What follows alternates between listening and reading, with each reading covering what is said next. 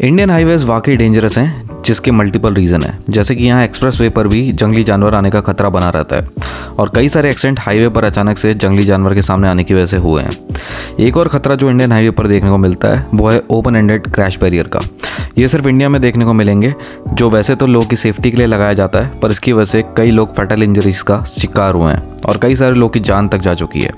समृद्धि महामार्ग पर mister Vibhakar scorpion में same वजह से अपना एक पैर गवा चुके थे।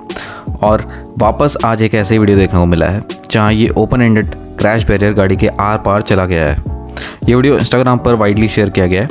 यहाँ आप देखेंगे कि राजस्थान के एक हाईवे पर महिंद्रा थार के आर पार यहाँ क्रैश बैरियर घुसा नज़र आता है। महिंद्रा थार एक मज़बूत कार है और इसकी बॉडी को चीरते हुए अगर ऐसे मेटल बैरियर निकल जाए तो क्या कहा जा सकता है?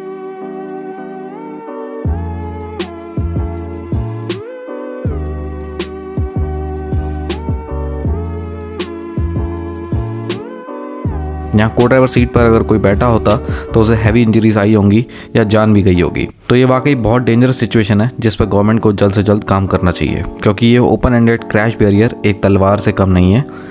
बाकी देशों में इन्हें प्रॉपरली एंड किया जाता है मेटल पीस के साथ, या फिर ज़मीन में डाल दिया जाता है, ताकि ये गाड़ी में जाकर इस तरह का नुकसान ना करें। और सेम चीज़ इंडिया में भी जल्द से जल्द करना बहुत ज़्यादा ज़रूरी है। इस वीडियो को आप आगे ज़्यादा से ज़्यादा शेयर करें ताकि ये वीडियो नितिन गडकरी सर और गवर्नमेंट तक भी पहुँचे और गवर्नमेंट इस पर तुरंत एक्शन ले। बाकी आपका क्या कहना है इन क्रैश पेरियर के बारे में? कमेंट्स में ज़रूर बताइएगा। चलता हूँ मैं, मिलूँगा आपसे जल्दी एक नए वीडियो के साथ। Till the time this me signing off जय हिंद